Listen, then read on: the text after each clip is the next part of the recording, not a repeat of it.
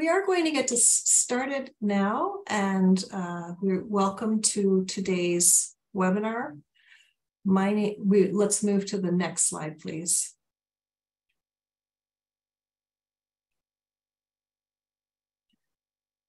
My name is Alixe Bonardi, and to provide a brief visual description, I am a, a white middle-aged woman wearing dark framed glasses uh, I'm wearing a, a, burgundy sweater and I'm in my office with an abstract print behind me and a festive poinsettia on the desk beside me.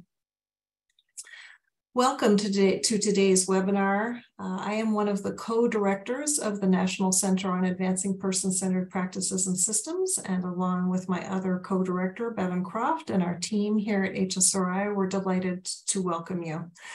Thank you for joining us to learn about the marriage penalty for people with disabilities and what that means in the context of person-centered supports. We would like to thank the Administration for Community Living and Centers for Medicare and Medicaid Services for funding this webinar and uh, our center and for making these webinars free and open to the public. Next slide, please. The National Center on Advancing Person-Centered Practices and Systems is essentially designed and uh, to promote systems change that make person-centered principles uh, not just an aspiration, but a reality in the lives of people across the lifespan. Uh, this, this, we have many, many different aspects of uh, the work we do to focus in on making sure that supports for people, particularly people with disabilities, are person centered. And this is this brings uh, today's conversation will bring uh, additional richness to the, con the, the whole construct of person centeredness. Next slide, please.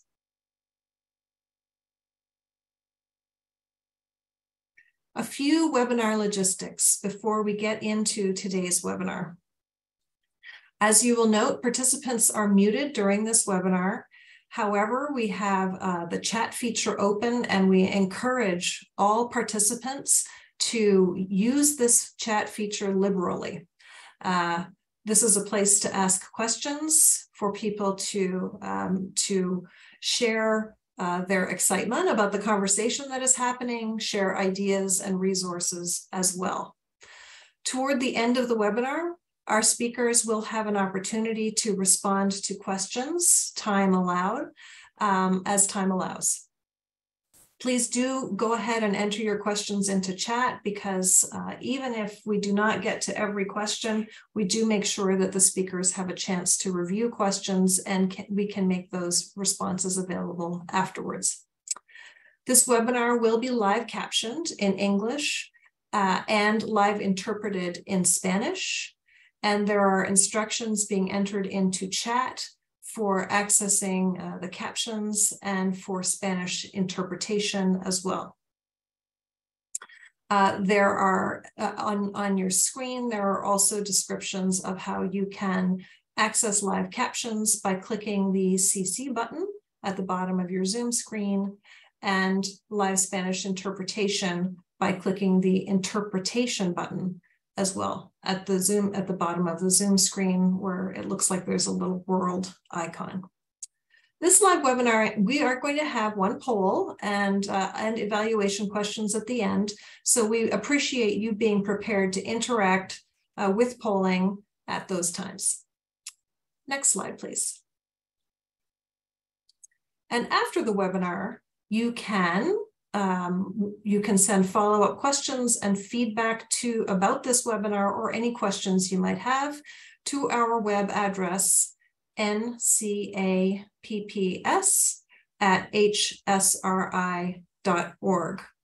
Please note, this email address is not being monitored uh, during the webinar, so, uh, so uh, you can reach out through chat if you are having uh, issues or questions. An important thing to note is that the recorded webinar, this entire webinar, along with a version of slides and a plain language summary, will also be available within a few weeks on our website, ncapps.acl.gov. And at that time, as I mentioned, we'll also include questions and responses uh, to uh, in, in those materials uh, as we post them. Next slide, please. And here's the important part as we get into our conversation with, uh, with our panelists today.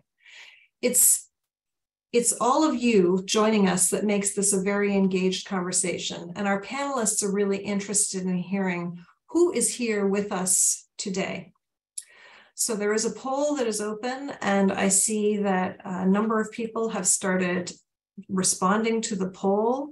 Please note uh, there is a little gray bar to the side of the poll. If you're looking at it, um, it's a little hard to see visually, which allows you to scroll down and there are a few other response options if you don't see the whole long list there. So as we are seeing uh, responses coming in, we have about half of our participants who have responded, but with, uh, with the number of participants here, we are going to give a few more people, a few more seconds for people to go ahead and respond in.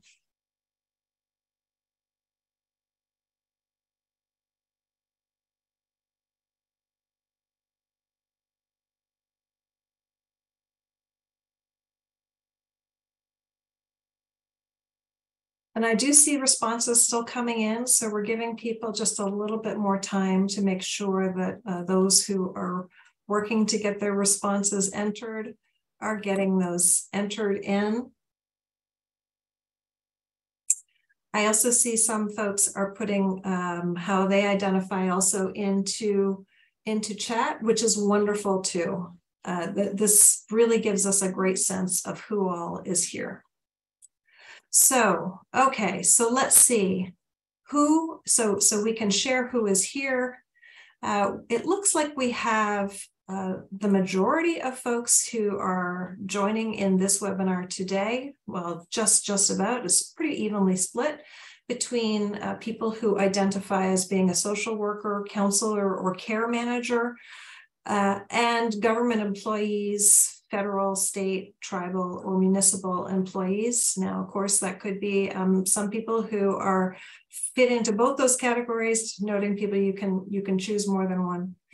Um, you can also, uh, we also are joined by uh, about 15% of people joining here identify as a person with a disability, and another 16% as a family member or loved one. And uh, over 24%, about one fifth people here identify as self advocates. We also have peer mentors, researchers, and uh, people who represent community or faith-based provider organizations. So uh, a, a, good range of people, and uh, and I do see that we've got some really uh, excellent uh, detail that people are adding in here into into chat as well. Thank you.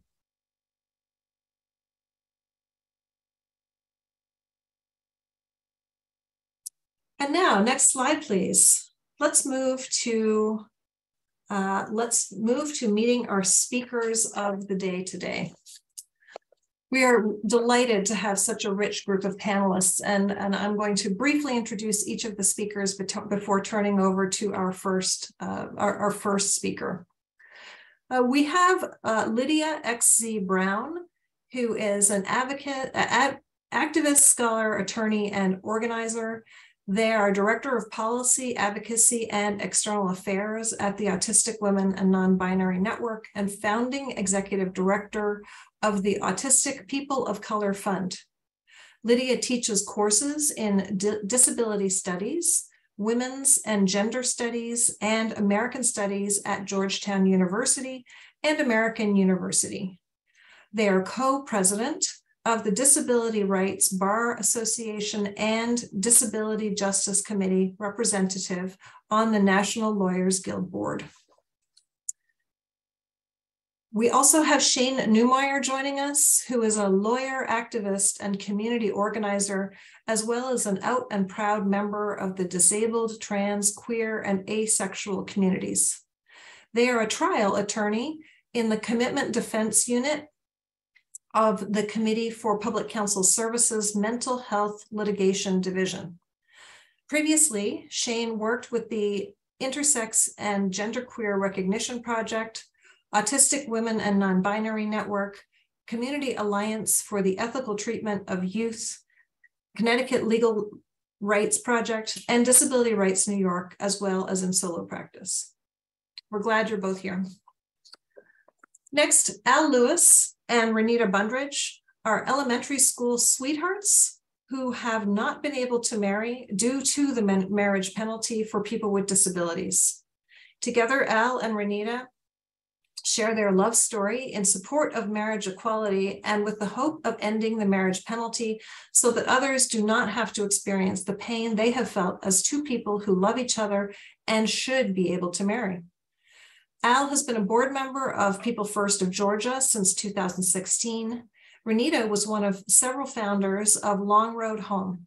She was president of People First of Atlanta for eight years. Renita was also founder of uh, president of People First of Georgia for a year after being vice president for four years.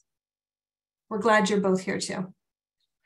Kyle and Stephanie Pelletier are a married disabled couple. Uh, once they were married, Stephanie's benefits went down to $8 and some cents. Getting rid of the marriage penalty has become a priority in their lives as they know that other people with disabilities would love to get married and keep all their benefits. However, they must often settle for a relationship ceremony instead of being able to get married and maintain their quality of life.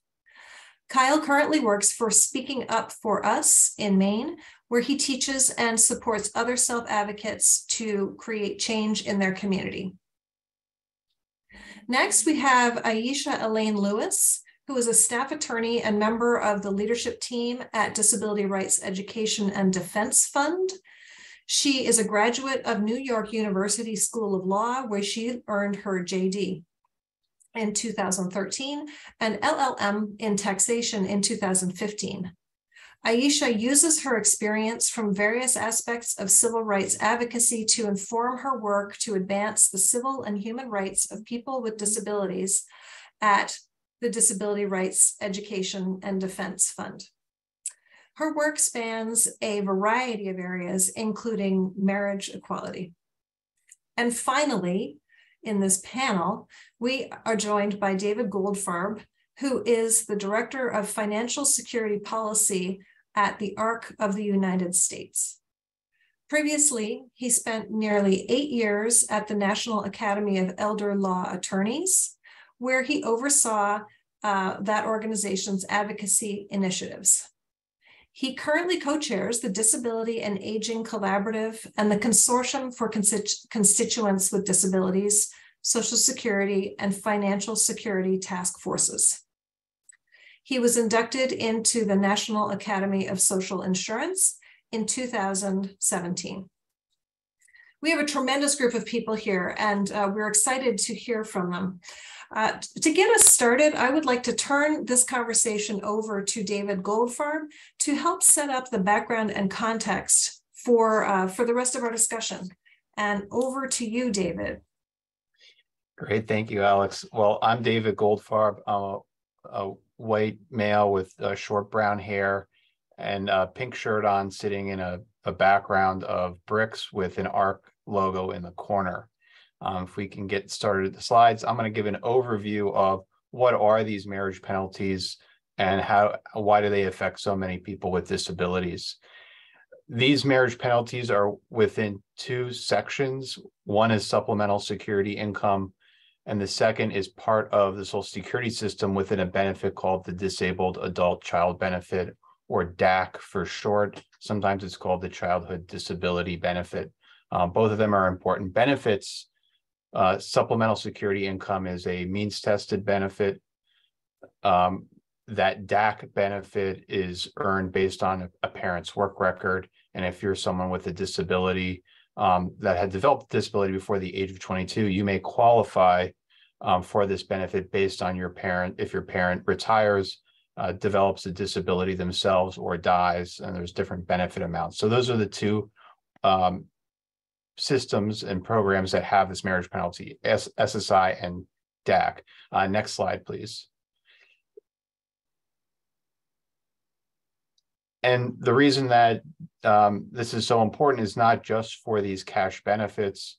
You know, SSI's benefit is extremely low, the maximum of $841 a month this year, um, but it provides what's called categorical eligibility in most states um, to Medicaid, and Medicaid is what I think is the, people on this webinar know provides the long-term services and supports in the community uh, that people need to survive. Uh, importantly, that uh, DAC benefit um, can also get you Medicare um, after a 24 month waiting period. And what we see a lot of at the ARC for people with intellectual and developmental disabilities, yes, uh, disabled adult child benefit is what DAC stands for, and I'll I can I'll keep the longer term. Uh, is that people start off on SSI, and then as they age, parent may retire, they get uh, a benefit the, the DAC or disabled adult child benefit based on their parents' work record.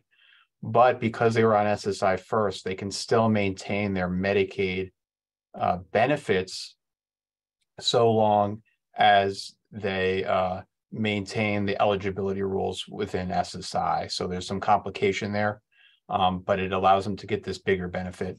And OASDI stands for Old Age Survivors and Disability Insurance. Thank you, uh, uh, for answering that the chat. Uh, next slide, please. So what are these marriage penalties? Um, there's multiple marriage penalties within the, within those benefits. Um, and we're going to we're going to dive into uh, to all of them here. Um, the first is that if there are two couples that are both on SSI, um, so they're both on SSI, you can see a 25% cut in their benefits and a 25% lower asset limit. The second is what happens when a SSI beneficiary marries a non-SSI spouse. And what happens is something called spousal deeming or um, the program seeing the income and savings of that of that non-SSI spouse is available uh, to the SSI beneficiary. And then finally, for the disabled adult child benefit, um, as we'll talk a little bit more about that benefit, if they're if they marry someone else with some exceptions, they lose their DAC benefit. And of course, with all of these, when you lose this benefit, you also lose Medicaid or you also lose Medicare. And so it's not just the cash benefit that's so important, it's the health and long-term service supports benefits that are tied to it. Uh, next slide, please. So the first one is um, to dive in a little bit deeper, the married, when two people are on SSI and would like to get married. Uh, and so what you can see here is that they face both a stricter asset test as well as a lower benefit amount. So right now, um, if you're unmarried, you can have $2,000 in the bank. Um, and so two individuals separate that are SSI beneficiaries could have 4,000 total. Um, but if they were to marry, they could only have $3,000 in the bank. Lower benefit, uh, low, excuse me, lower asset limit. And obviously these asset limits are already painfully low. And that's something we've been working on this year. The second is the benefit itself. The maximum is $841 a month.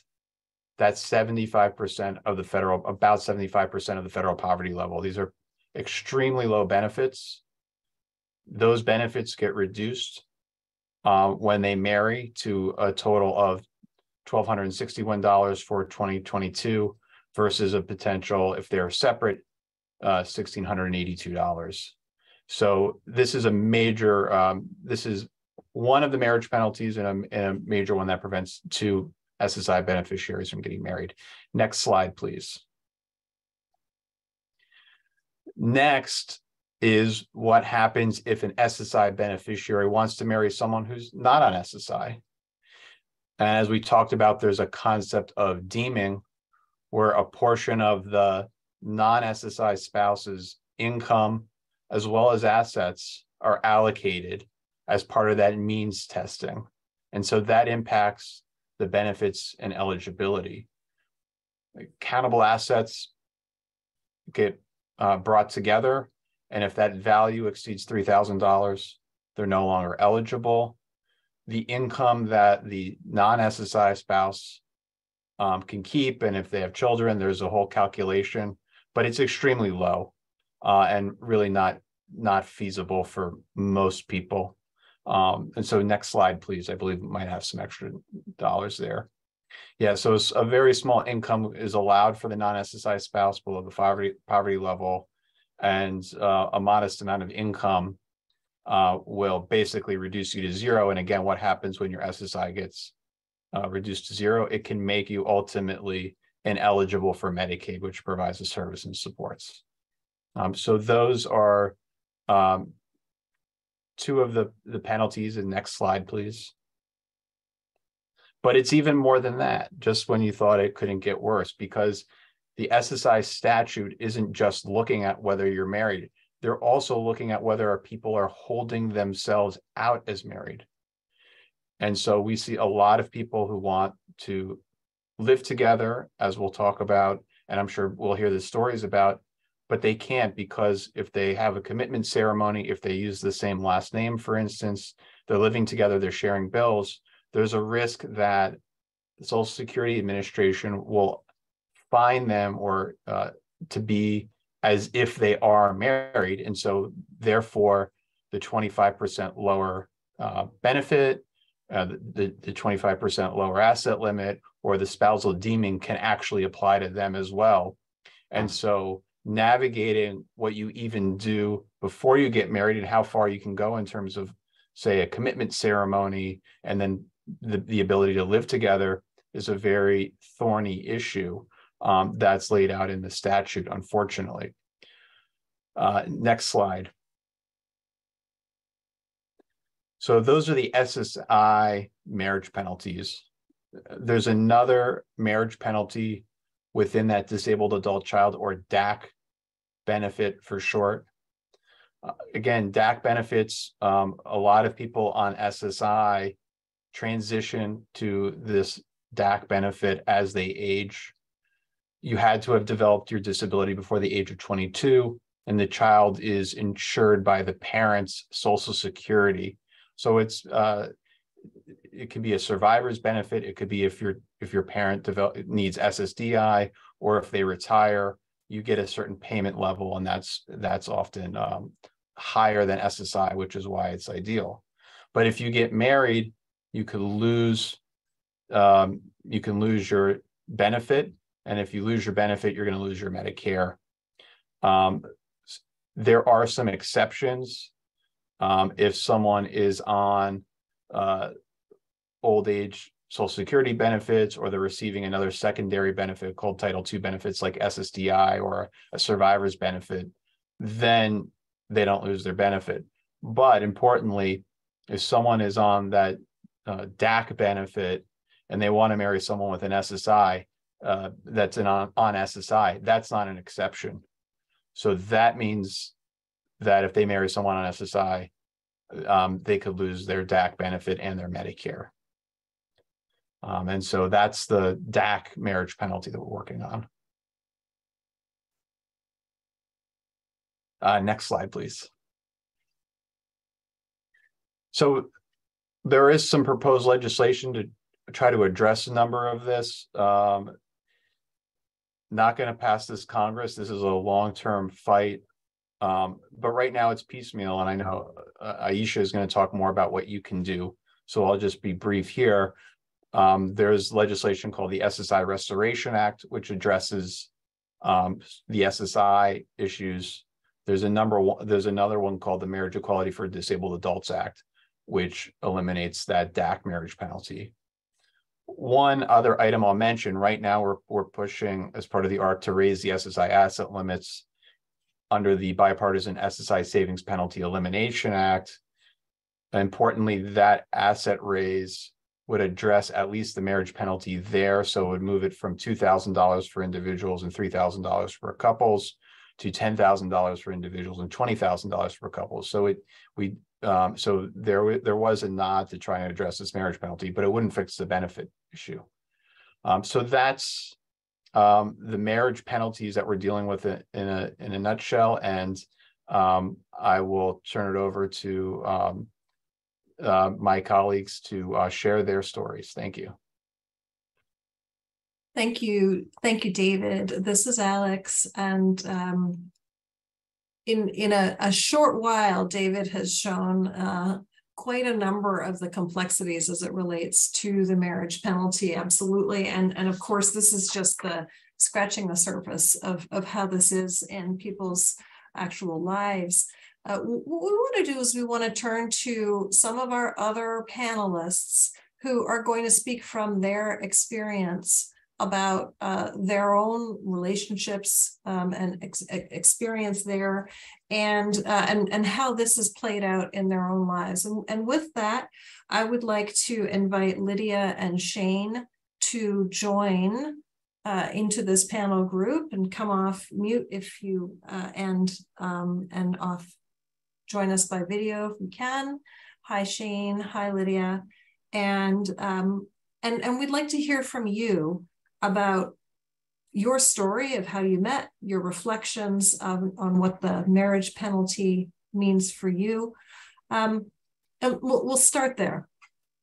My name is Shain Neumeier. Um, I use they, them pronouns. I am a white person with short blonde hair and glasses and a t shirt sitting in front of a blank beige wall. Lydia? Hello. This is Lydia X.Z. Brown. I am a youngish East Asian person with short black hair and glasses. I'm wearing a dark polo shirt, a jade necklace, and behind me is a fake background that shows some autumnal trees. It's a picture that I took when I was out on the campaign trail this year. Terrific. Glad you're both with us. So to get started, um, can I ask both of you to reflect a bit on how you met and what the marriage penalty means for you? Um, so uh, we actually met through a college friend of mine and somebody who went to a writing program with Lydia during um, previous school years, like an extracurricular program. Uh, she put us in contact. Um, and we actually didn't meet for about a couple of years after that. Um, funny story. We met in person the day that I broke things off with my abusive quasi ex. Like I was literally getting on the bus sending this guy an email not to um, contact me if he wasn't going to shape up. And then I showed up at a meeting uh, for ASAN, Autistic Self Advocacy Network, with Lydia, and we met for the first time that day. Um, we've been in a relationship since 2013 and we got married in 2019 so we're coming up on four years now um, as of june so three and a half years technically. Um, and um, anything to add there lydia from your perspective? I always tell people that the two of us are both openly autistic queer non-binary lawyers who've worked on issues of deinstitutionalization and and abuse within disabled communities, and that none of that is how we met each other. Because I think it's hilarious that that's we've ended up having some very um, we've had we work on many of the same issues. We've worked in parallel sometimes. Our lives have had many parallels but that's not how we met. We met because we're geeks. That's how we met. And um, I, I love that about our relationship. But you know i think like the other couples who will be speaking today, you know, we had the privilege to be married, although why we got married was also a very disabled situation. Uh, do you want to share about how that happened? So in 2019, while I was running my own law practice, the American healthcare system happened, and I went from having Mass Health, which is the Massachusetts equivalent of Medicaid, and being able to run uh, what was effectively a small business um, into losing my Mass Health because I made too much the first year of my practice and having to suddenly ration my seizure medications and stop my um, stop my ADHD medications altogether, which sent me into a mental and to some extent physical health tailspin. Um, all sorts of terrible things happened as a result of that. Um, but the non-terrible thing is that um, Lydia and I got married on the 50th anniversary anniversary of Stonewall in 2019 in a small ceremony with some of our closest people. Um, and um, unfortunately, the circumstances that necessitated a quick wedding were that I needed health insurance very quickly. But um, I, I, I am very glad that we did finally uh, get married rather than kind of oh, one day we'll think about doing it. Suddenly there was a fire under our butts, and we went ahead and did it, and it was great despite the ha- the last minute nature of it. And and you're describing an experience, Shain and Lydia, that uh, as as we know, many thousands of people have in terms of uh, choosing the being pushed in or, or sort of choosing the time in which they're going to be married as well. What I wanted to ask you though is um, how can case managers or people who were supporting you or guiding you in any way um, best support you when it comes to personal relationships or marriage? Uh, what's some information that you would like to have, like to have had, um, in in terms of collecting up information and just knowing about what the marriage penalty means or might have mean meant to you as you were um, as as you were coming together in your relationship and thinking about what it what it means to you. Um, to me, honest and fair here, neither of us have been on SSI benefits. Um, I was on Medicaid for low income reasons, but um, did not qualify for services. Um, what would be useful from my vantage point um, is to the extent that there are um, community mentors or other resources for people in the community who don't qualify to help connect people with resources, um, couples to, uh, for instance, work on setting up informal support. So if one spouse, for instance, in this case, it's usually me, has more serious disabilities in terms of affecting ADLs, it doesn't need it shouldn't fall to the other person to be the caregiver just because they're the spouse. Unfortunately, given our system, we it, which you know treats us all as individual little family units, um, disconnected from the larger social network such as it is in this country. Um, it will usually be the responsibility of some other family member to act completely unpaid as a support person if somebody doesn't qualify for a um, any kind of services. So helping people figure that out in advance, whether they're as was more or less the case with Lydia and I agreeing to do that for each other to the extent that it is mutual, recognizing that I really end up being the bulk of the caretaking, um, needing side of things, um, to see if people agree to do that or if they're saying if people they're looking at each other saying we're going to need more. How to find that and helping people to arrange that if you are a mentor or a counselor or a service provider of any kind. Um, and also to talk through just identify points of conflicting access needs that may or may not be able to be addressed by service providers of any kind to plan in advance. Like Lydia and I unfortunately can't live together because of the nature of our disabilities. And thankfully we didn't try because before figuring that out, we just figured it out without doing that. But that could cause problems to have any support people, formal or otherwise, help people identify, okay, this is where your disabilities are going to cause problems in the relationship and how do we mediate that before and during um, and account for that in services um, budgeted for otherwise. Um, that can be helpful for the relationship.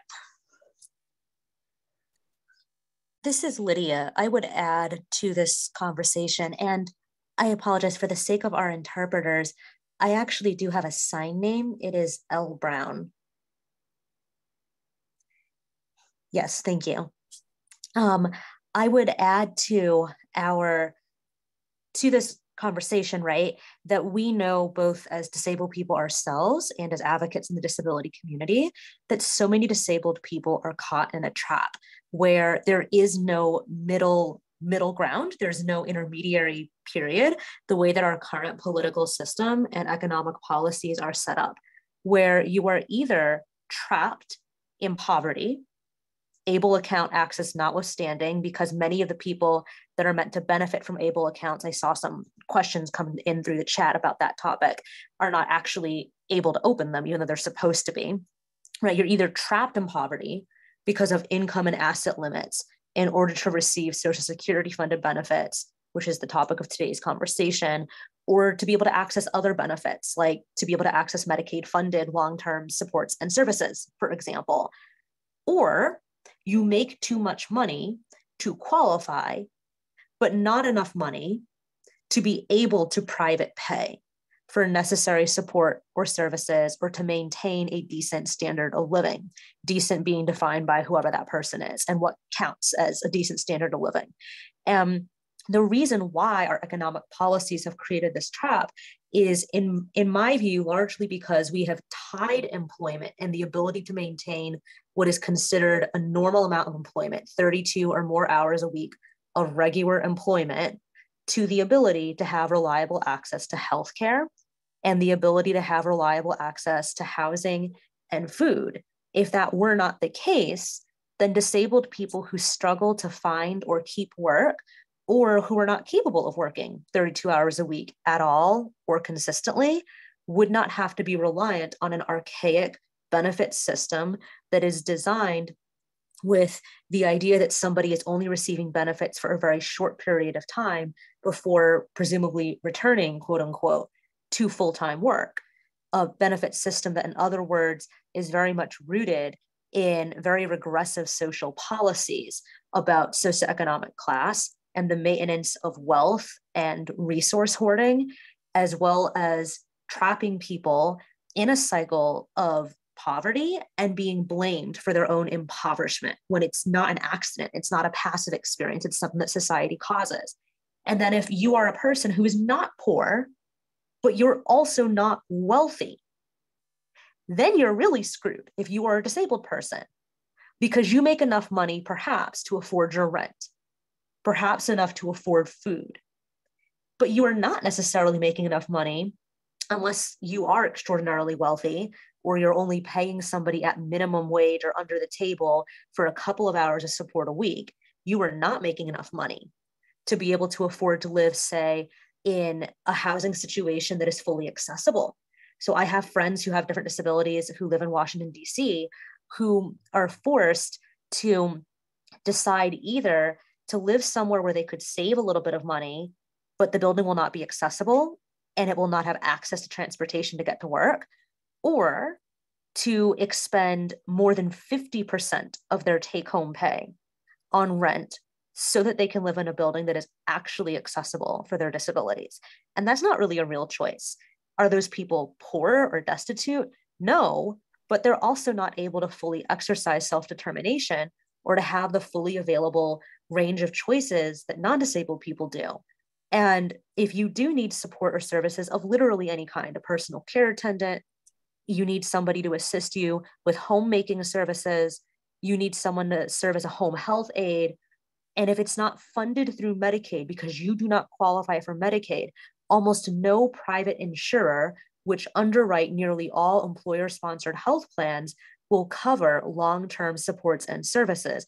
At best, you might qualify for temporary coverage of rehabilitation services if you have experienced a discrete injury and you have been discharged from an intermediate or skilled nursing facility back home, you might get a few weeks or a few months of payment and co- coverage from your plan for those services. But if you need those services as a basic function of daily life, your plan will not pay for it unless it is Medicaid. So you either have to be trapped in poverty forever, even if you could work and wanted to work, or even if you wanted to work, but you can't work 32 hours a week, or you can't work reliably in a job that offers access to an employer sponsored health plan, then you are also screwed because you work too much to have access to Medicaid. And then if you are privileged enough, and like we're both privileged in that we have access to employer sponsored health care, right? That doesn't mean that your plan is going to fund any disability related services. It might fund therapy, which is great. And I love therapy, and more people should be able to access it. And it's not affordable to a lot of people. But if you need regular support work in your daily life, you can't get it. And, and Shain, I'm sorry, I think you've been trying to say something. Yeah, I have. Um, th- there was an, a, a, question about what is the solution to these problems. Universal housing that is accessible and universal health care. And I'm not talking about affordable, I'm talking about zero cost to anybody. You get what you need, all of what you need, because you are a person living in this society and no questions asked. That's the policies we need and universal basic income, I would say as well. Terrific.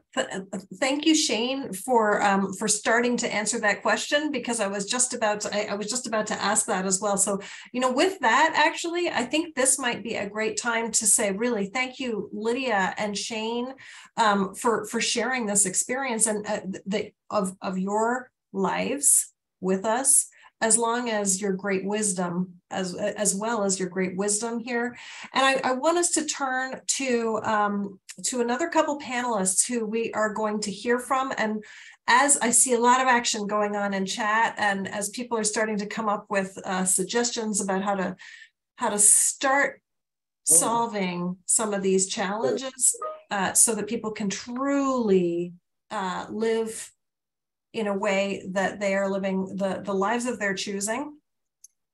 Uh, th these are some of the solutions we need to get to. So with that, I, I want to turn the conversation to Al and Renita. And I, am going to start with the, the, same questions I started with Lydia and Shain. We, we were asked, I started by asking Lydia and Shain uh, the story of how you met and what the marriage penalty means for you. Yes, um, my name is uh, Al Lewis. I'm um, a African American male wearing a blue and a white collar shirt. And I'm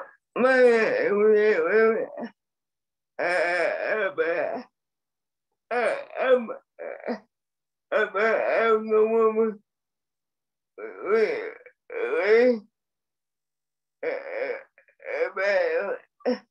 she she stated um, that she is, her name is Renita Bundridge, and she's an African American woman uh, with a black and gray striped shirt on, and um, our our story is that um, we met uh, all the way back in um, 1988. Uh, we were um, I was um, registering to be in uh, this elementary school, Law Ridge Elementary. Um, Renita was uh, she was 13 at the time. I was 11 at the time, and um, we met um,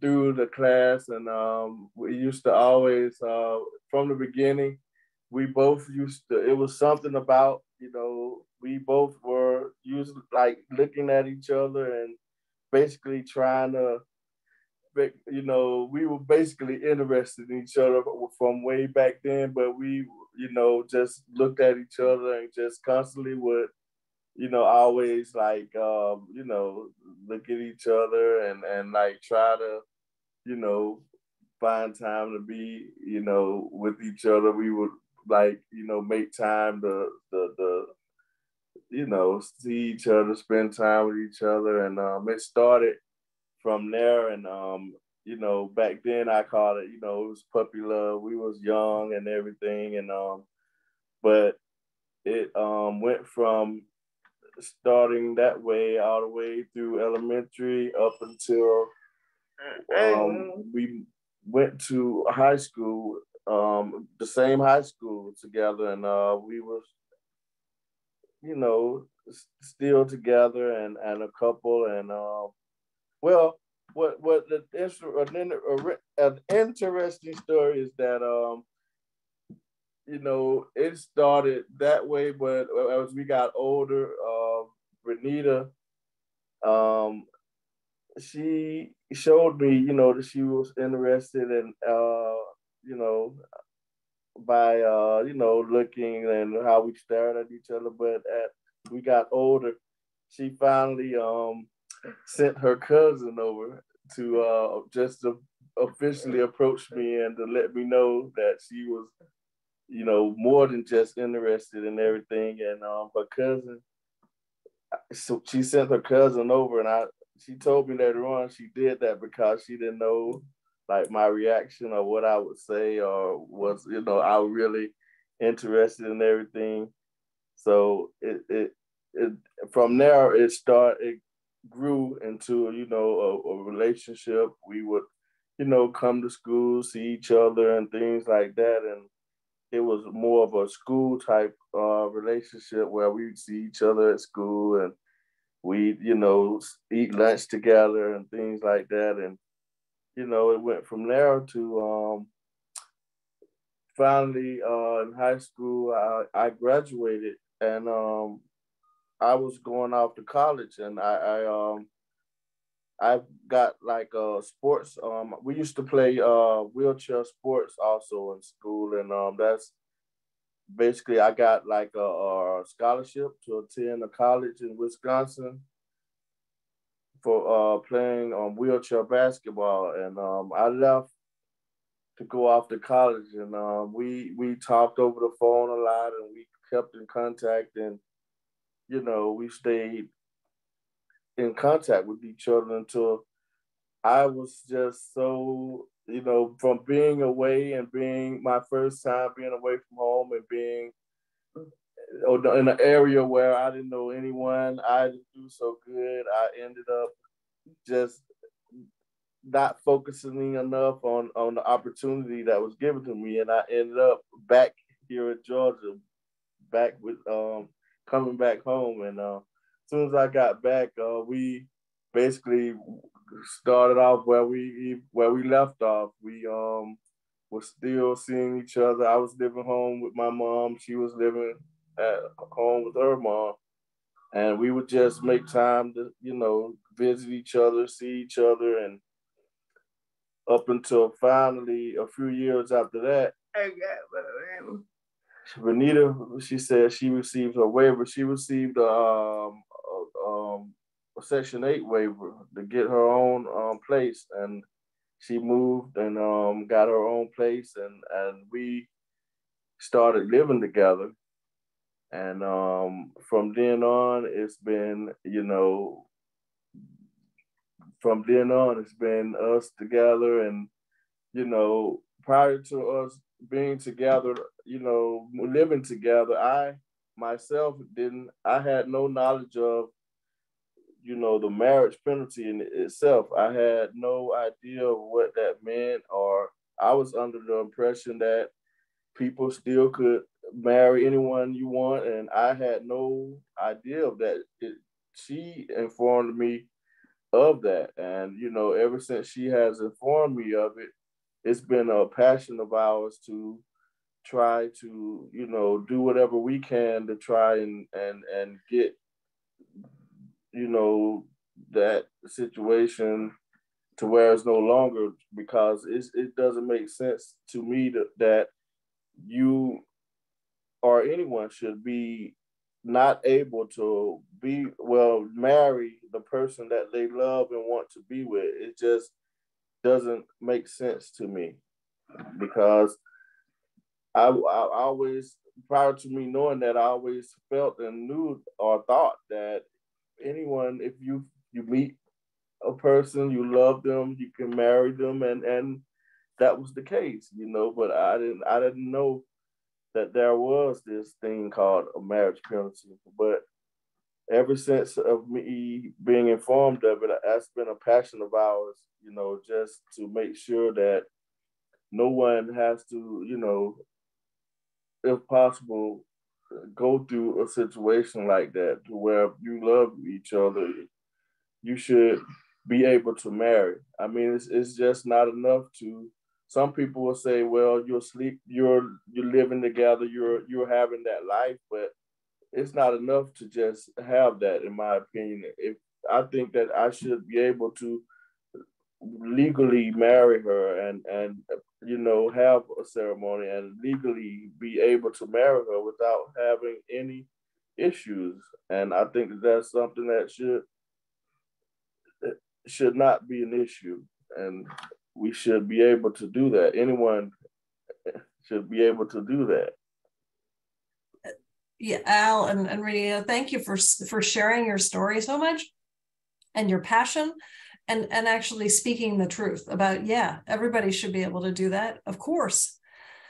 You said that you're you're really interested in um, in advocating being advocates to to you know work and, and make sure that um, that anybody who wants to get married can could you talk a little bit about how others well your experience, um, what you have been doing to advocate for this, um, and, and some suggestions for how people can advocate so that people with disabilities um, just have the right to get married without worrying about losing their benefits. Um, uh, uh,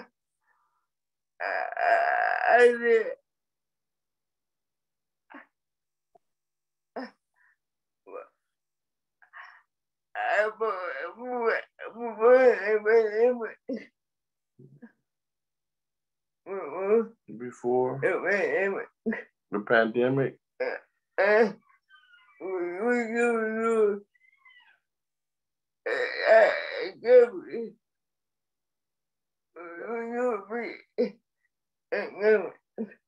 Oh yeah, she was stating that you know, prior to the pandemic happening, we were very much active in, you know, going to see our, you know, legislators and going to the Capitol and and trying to, you know, make this issue known and the, you know, just keep the issue itself out there and spread and spread it as as you know far and wide as we could, you know, to keep people and and the legislators, you know, on the topics.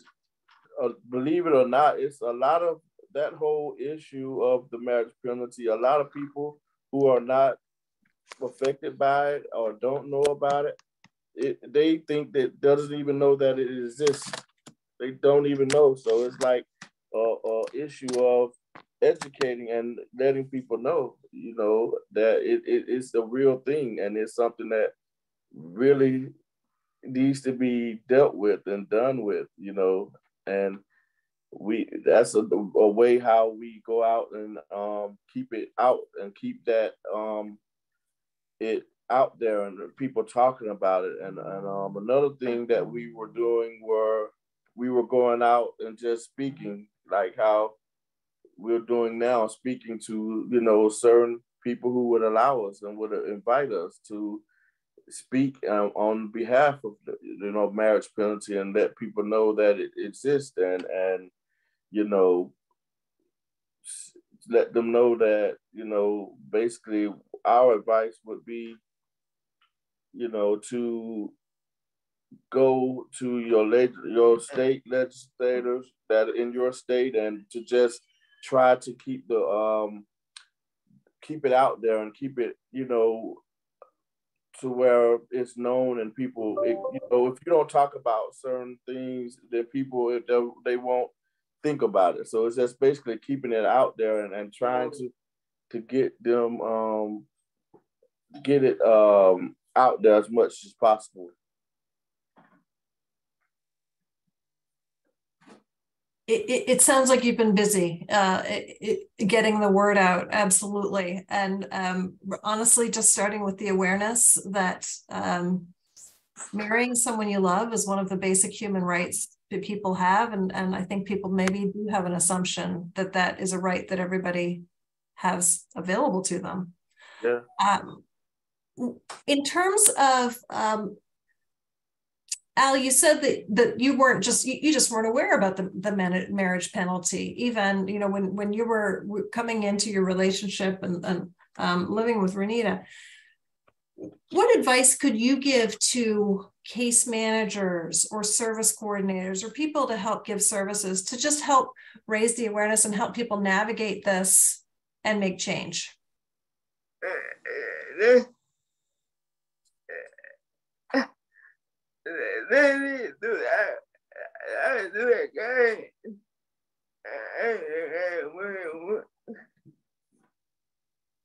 Oh well, you mean well? She said that uh, basically people who, like you said, work in the field that deal with dis- disabled people.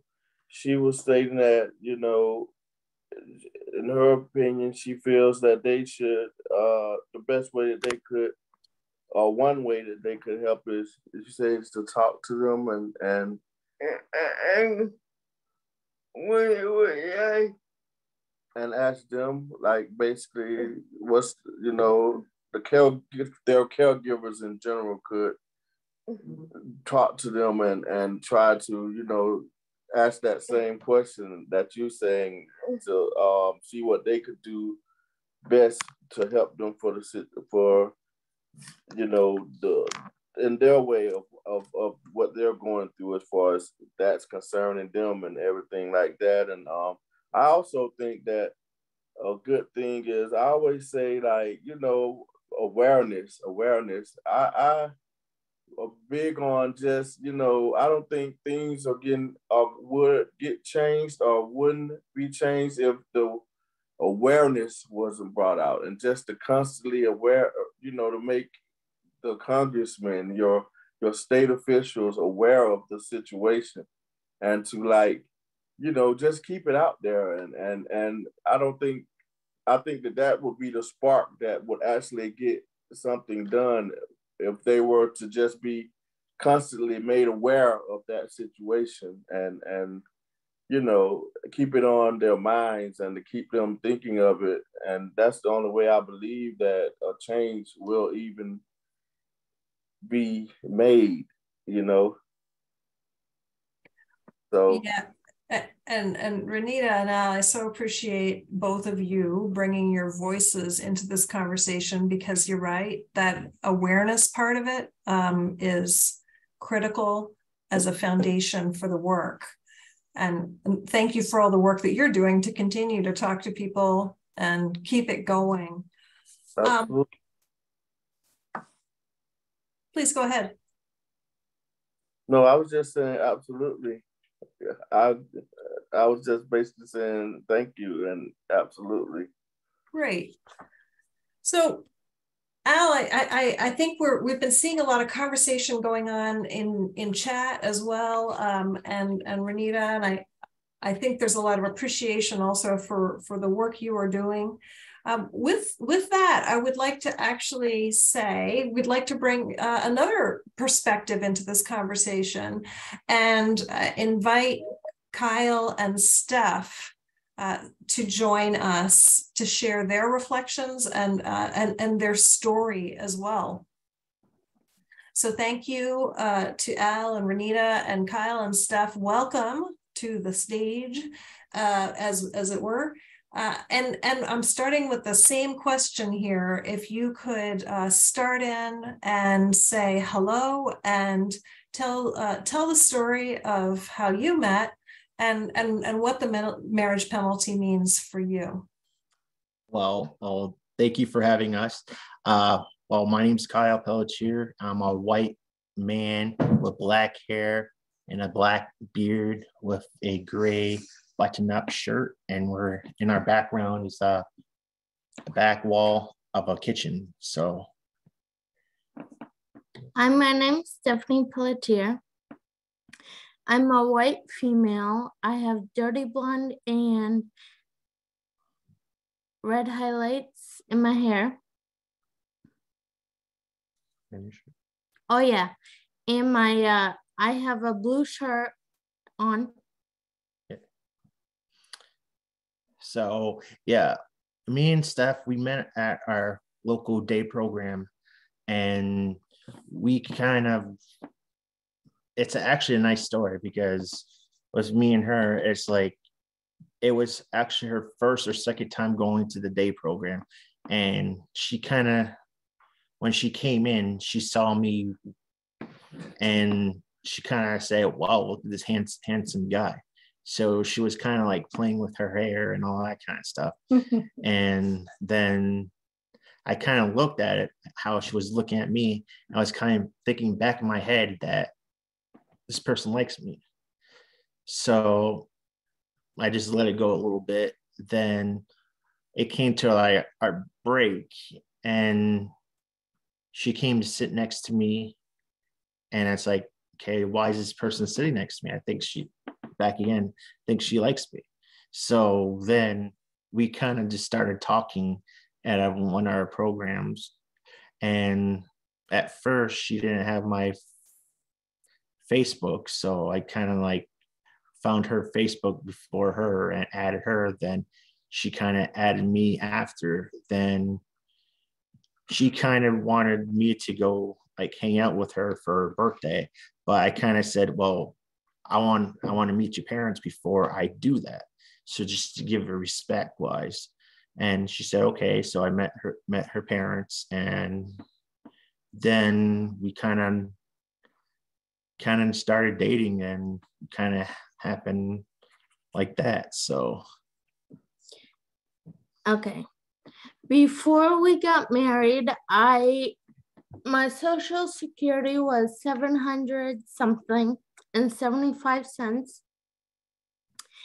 And when we got married, it went down to $6.75. And then cost of living went up, so I got $14.75. Then I was supposed to get uh, $23.75 the beginning of January. But then I got a letter from Social Security a couple days ago said that mm, I'm gonna lose that uh, $23.75. So then I felt I felt lower than low because I was getting zero dollars. So I felt like I was not independent anymore. So, and I have my mother in law that wants to say a few things that for a mother and a children caseworkers experience of a dealing with a child that has social security and losing it by nothing so I'll kind of turn it to her and just. Hello, my name is Cindy Tardiff. I'm Stephanie's mother. I've been her biggest advocate since she was a child. Identify your white, black. Hair. Oh, sorry. Um, I'm white. I have dark hair and a maroon shirt. I'm in the same kitchen as Steph and Kyle. he described it a while ago. Um, Steph and Kyle have been together for a long time, for about 10 years before they got married. And Stephanie is a devout Catholic and she uh, was getting her full benefits living with us. Our income did not matter. She had her full benefits. And so she was independent, buying her clothes, you know, food, uh, vacations, and she had money to, if she needed her uh, her her personal items. So she was pretty independent. So when we go on vacation, she had her money and whatever. So she met Kyle, she fell in love, and they chose to not live together. Like I said, Stephanie's a devout Catholic and she wanted to be God right in God's eyes. And she thought, well, um, before I get married, I we got to find out from Social Security how much benefits she would lose. So Stephanie's case manager, myself, Kyle's case manager, we call Social Security, and they determined it would be about maybe $200 that she'd end up getting. I thought that was bad at the time. but the end result ended up being $6.75. I almost fell on my butt when he told me that. It's like, that doesn't even pay for her personal items, you know, her monthly things. How does that even make sense? So I said, so now what's happening is that she went from being dependent on herself to now being back to dependent to our parent, her parents, because Kyle's on a fixed income, he's on Social Security benefits, and he's on disability as well. So they're saying that because he has SSDI and SSI, which he was only getting $23 SSI based on because of Stephanie, and she was getting now $23. And because his income went up a little bit, he works 20 hours a week. Now cost of living went up, social security income went up. So she lost her social security. I'm thinking like, so she went from poverty to below poverty. And my husband's on social security because he's retired. I'm retiring in four years. So right now, I'm, you know, we made an order of clothes through Venus. Okay, guess who's going to be paying it? It's going to be me. She has no more money. They're paying their fuel. They're paying their um, uh, rent. They have a little bit of help, not with the rent, but a little bit of help with fuel. And right now, it's been about 600 gallons or 600 dollars a year. But their uh, oil is two over 2,000. It'll even be more than that now because of how things went up. So I, I so I called Social Security, and they said it was based on Kyle's income that it went up a little bit, and plus uh, Social Security went up on their income, making her lose hers. So when Kyle went to Washington D.C. to advocate for the marriage penalty and against that, they were focused on uh, the equality of equality of marriage, which I saw the president sign. Uh, but for marriage penalty, they they told Kyle we wouldn't know where to get the money for to fund that. And I said to Kyle, what my response would have been to that, she had the money. You took it away. Right. She already had it. Right. So And th- they're th- keeping this, her this, below poverty. the, so the we have story that you bring is, is, um, really, um, such a clear, clear picture of, you know, a, a, problem that, that is, you know, brought into people's own experiences. And, and it, it really is, it's a painful story, honestly, to, to, to hear and to also, hopefully this is something that uh, we can use to fire people up to understand what this all means in people's lives. So we have Um, spoken to the legislators. We have, and we Yep. feel like we're talking to deaf ears. And 2000, fi- 50 years ago, they started with this Social Security. Back then, you couldn't have more than $2,000 in your bank account if you're one person. But then if you're a married couple, you can't have more than 3,000. Why can't it be four? But anyway, 3,000. But that was 50 years ago. 50 years ago, that was a lot of money. Okay, today it's not a lot of money. And they're still having the same guidelines. It, it, I can't even con, it's not comprehensible. Absolutely. And and even starting from the earlier remarks that that David Goldfarb shared, the I think that that the collective group of us here are recognizing that there are so many things that need to be addressed. And actually the asset limit that you just mentioned is absolutely one of them. Um, we, we have just a couple more minutes before we turn to our next panelist. And I, I want to ask you, Kyle and Stephanie, um, when you have been advocating, have you been, uh, what is the, the one message, the one thing that you are really looking uh, for legislators to change when you go and have a conversation um, in Washington and, and as you're traveling around advocating against the, what, what's happened with the marriage penalty? one one question I want them to to answer that we want like I want them to bend backwards to help us out to make sure that we get our voice like our voices heard that the marriage penalty needs to be eliminated because it's it's not right because people with disabilities should be able to have equal what rights to get married, be happy, start a family, and actually have both incomes and make sure that you're above property so you can actually have a half decent life. And I want them to hear hear that and say, I know how you feel. And I want to work harder to get the this eliminated. Can I say one thing? This is Cindy again. Um, the advice when we did seek out to like Pine Tree Legal and when this first happened, when they got married and they lost even more, she lost even more than what we were expecting. The advice, the advice that they are getting, get a divorce. That's and and and that that's not for lawyers and case managers to make a decision about when people marry and when people divorce. I mean that that is something that you're really um, you're you're really pointing to something that we have also heard folks have have heard.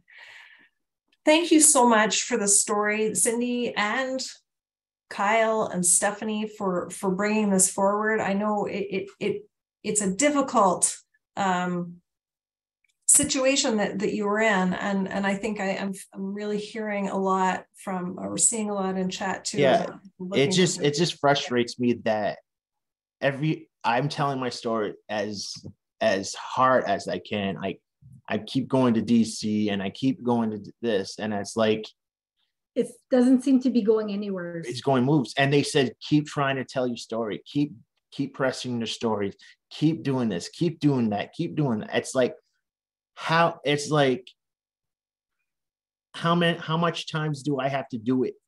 Do I have to do it until I'm blue in my face or like six feet under? It's no. it's sad. It's like everything else gets like ahead of this, and people with disabilities are still under property and there's continue getting struggles and there's always that wall that needs to be broken down. And it's like we go to talk to the people that we need to talk to, and we had to wait for all these co-sponsors just to actually sponsor these bills and to get into their communities to hear from us, then go back to the Capitol Hill for them to vote on it. It's like and Stephanie and Kyle are at risk of having uh, you know displacement because their place is like falling apart and they need to have a new place and we have a piece of land next door that we would have like a well and sewer put in for them and everything but we wanted to build them a tiny little home but they can't even afford for us to help them and we would be giving them land but we they can't do it. Yeah. Right. And so, we and we want to be able to have kids but it's hard. Right. All the, all of the, the the pieces of a true and loving relationship that everybody has a right to. Right stephanie? So, so it's like with the so, other oh, sorry just like with the, the other couple and it's like they're they're working like pushing things. It's like what what more can we do? I can't cry that enough what more can we do? Yeah, Kyle, and and and and that's where I, I want to try and take this conversation too, um, and and this is going to be a, uh, maybe difficult to invite you into the room, uh, uh, Ayesha, at this point, but uh, Ayesha Elaine uh, Lewis is uh, somebody who we want to make sure that we hear from you. And I also wanted to say thank you, Kyle and Stephanie. Uh, because I think Ayesha, uh, Elaine, you, you, can provide some of um, some of some more context and discussion about what, what's coming next and and what what can happen in some of this fight for people's rights. So with that, I wanted to turn it to you for for some of your comments. Thanks for joining us. Thank you. Um, my name is Ayesha Elaine Lewis. I am an African American woman with brown and blonde dreadlocks and a white sweater against a beige background. Um, and I would also, I also look like I have a annoyed expression on my face because I always get annoyed when I go over these archaic rules that harm so many people with disabilities. Um, I'm also a person with disabilities, and so it feels personal. Um, and, you know, we all deserve our rights to have marriage, family, love, make our own life choices. Okay, so to your question about what can we do to support efforts to end marriage penalties? Well, the first thing we could do is learn more. David's overview of the SSI and DAC marriage penalties gave you all a sense of how complex these rules are. If you're interested in learning more, feel free to check out DREDF's marriage equality page, and I'll drop that link into the chat. And this will also be provided for folks afterwards as well.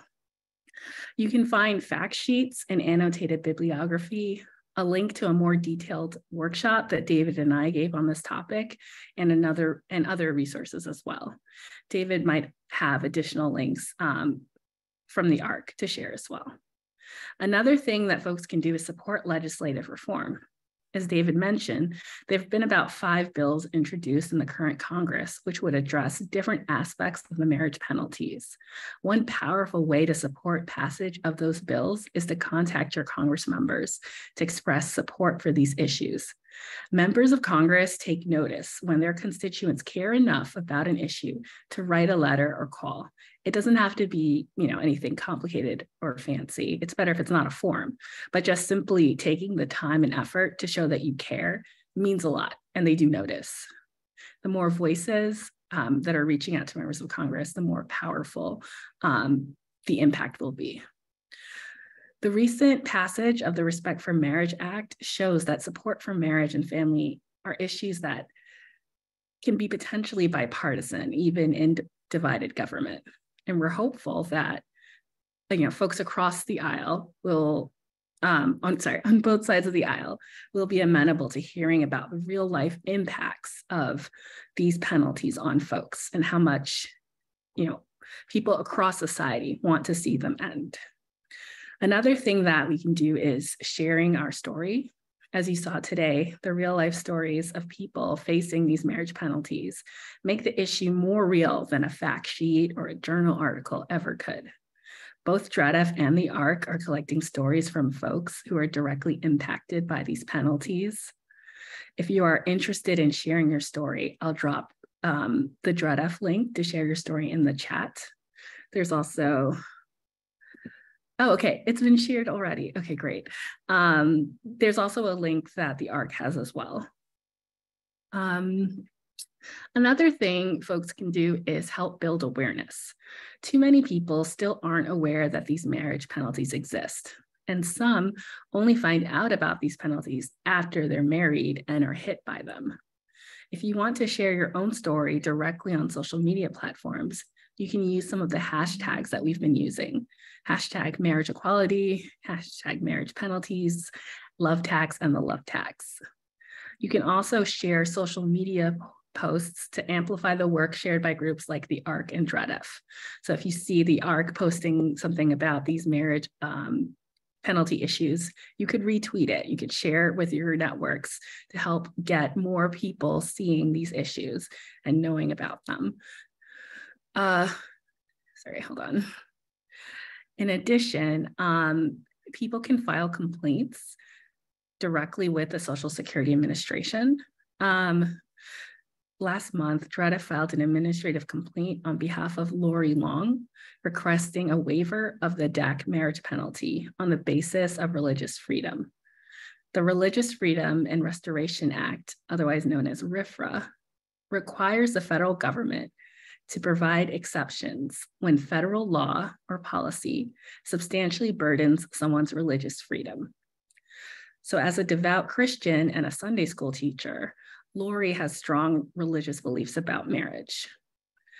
And therefore, what the complaint asks is that the um, Social Security Administration, which is a part of the federal government, waive the rules about marriage and benefits so that she can engage in the religious sacrament of holy matrimony, AKA marriage.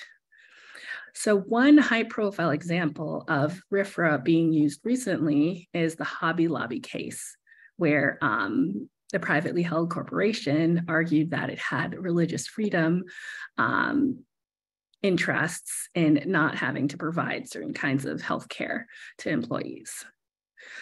And so RFRA is out there, RFRA is being used, and you know, we think at DREDF that it's a potential tool for folks to use to advocate to to get an individual kind of relief. Um, now we haven't actually gotten the administrative complaint uh, resolved yet. So folks might want to wait a little bit to see what happens with Lori's. But if you want to do it on your own, that's something you can explore with, you know, with counsel, with your um, advisors to see if that's an avenue you're interested in. Um, you can read our complaint and press release, and I'll drop the links for those as well. In a recent op ed, Nancy Altman from Social Security Works called on the Biden administration to provide waivers to people who seek to marry for religious reasons, or if they don't want to do an individual waiver for millions of benefit recipients, they could simply announce a waiver for everyone receiving SSI and DAC um, under the authority of RFRA. And so, um, again, I'll share the links that were listed that I discussed, and it'll also be provided after the training. Are there, does anyone have any questions? Well, that um, I, I, think probably there are many questions, probably, but the richness of uh, some of the resources and some of the actions that are being taken, I, I really appreciate. And before I, uh, I hand it over to my colleague Bevin, I just wanted to say thank you to Ayesha and uh, to all of our panelists who have shared both the, their passion and, and, and their love stories right? Uh, this afternoon. I don't know that we've had quite as many love stories packed into one NCAPPS webinar um, ever before. So, so thank you for, for all of this, uh, as well as bringing forward the really, really important issues that we still have to work on. And with that, I wanted to invite Bevin uh, to bring us uh, to to possibly one or two questions we could ha have, uh, and then wrap us up. Hello, everyone. This is Bevin Croft. I am a white woman with blonde hair up in a bun. I have bangs. Behind me uh, is my home office that has many plants. Um, we have just a couple of minutes um, if anyone does have a question um, that they'd like to ask, please put it into chat. Um, we received a lot of technical questions that I think may be better uh, answered in writing, um, but we did uh, have someone wondering earlier on uh, about um, how um, marriage rights play out for people with conservatorships, uh, people under guardianship. And I expect we could do a webinar on that topic uh, alone, but I wanted to um, raise uh, this to our panelists and see if any of you have anything to add. And David, I see you've gone off cam uh, on camera. Yeah, I'll, I'll just add it's a complicated question because it's a it depends on the state statute. Um, I think generally speaking, there are limited powers for the ability to divorce, and I know attorneys are loath to do that, but I was, there was actually a recent uh, Supreme Court of Kentucky case that dealt with the issue of divorce when uh, a young woman married someone with Alzheimer's was convicted of uh, felony financial misappropriation of his funds and was um, set to receive his funds as inheritance, although she would be in jail for about 10 years as a result of her financial exploitation. Um, they were under a guardianship and the guardian was able to get um, divorce. Um, so that adds that does add an extra layer of complexity, as well as what are the rights to um, get married if you are if you are under conservatorship or um, guardianship. And the answer is probably you're not. So that's another way in which um, people's rights might be infringed. The uh, and so a big thing that the ARC works on, and I think a lot of others work on, is something called supported decision making and other means to keep people as free as possible, so they ha- they can choose who they want to live with, and that's you know um, probably someone referring to, for example, the Britney Spears case where she was not able to marry someone. Um, so it's both. That's a again a complicated state question um, and so I'll, I'll leave it at that, but it's definitely an issue. This is Bevin. Thank you, uh, David. Um, we've gotten a couple other questions in chat, um, really related to action. So, any tips um, for um, you know how to get representatives uh, in person to speak to this issue um, and also are there any bills with bill numbers um, that folks can use to contract to, to as they contact um, and and um, oh, i will i will sort of quickly say um, that there are bills listed in the powerpoint and if anyone wanted to drop them into chat um, we could we could put uh, put those there. We will also be sure at the end of this webinar, um, when we put the materials up on our website, uh, we will include all of the resources that we've described today to cut it together in one place. Um, call it your advocacy toolkit, and um, and that'll be a resource for you. We have come to the end uh, of our time together. Um, I, think I probably speak for many of you that my heart has been on a roller coaster this afternoon. Um, you know, fluttering and and, and excited with with how romantic um, and beautiful these stories are, um, and outraged and heartbroken. Uh, for our, our panelists as well, knowing that our panelists are speaking, um, you know, um, stories that hundreds and, uh, and, and, hundreds of thousands of, of people with disabilities across the country uh, are experiencing. So I, I hope that um, uh, everyone channels uh, this experience and these feelings um, into, into action um, as we as we work to, to support uh, marriage equality for all. All right. So um, I have one final poll uh, to invite you to take we take uh, continuous quality improvement very seriously at the National Center on Advancing Person Centered Practices and Systems. So please help us before you leave this afternoon uh, by taking the six question post webinar evaluation before you head out. We use your feedback, we look at it every time, uh, every webinar, and we use it to, um, to improve. Um, I, I, hope that we can continue discussion on this topic and um, we will have uh, webinars coming up this year that touch on some of the issues that came up in chat. So please do stay tuned. Please do join us again. It was wonderful to have you here. Um, and huge, huge appreciation to our panelists, uh, David, Lydia, Shane, uh, Renita and Al, Kyle and Stephanie, um, and Stephanie's mother-in-law, uh, and Kyle's and uh, mother-in-law, Stephanie's mother. Um, I apologize. I have your name escapes me, um, and Ayesha. Uh, for sharing your wisdom and your experiences. We are grateful to you, and I wish everyone a good afternoon.